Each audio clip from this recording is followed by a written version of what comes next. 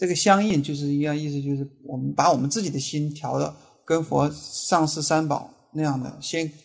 通过这个祈请啊、祈祷啊，先沟通上，就像天线接上了一样，调好了，调好了，我们自己的心跟佛上师和三宝已经接上了，那么这个电视这个写这个图像就清晰了一样，就像我们自己的心就显现出来了，就是跟跟佛菩萨相应了。那个时候你一一修，马上就能够显现出来，因为你那个时候跟佛的那个心境相应的时候，啊，上师相应的时候，就是很快就能够后面的就自然就修出来了，啊，非常容易的。前面的上师三宝的祈请没有到的话，你就很难自己你升不起来。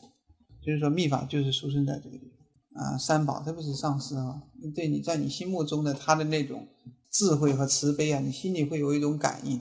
那个时候你就会不知不觉的用自己的心去模拟上师的心，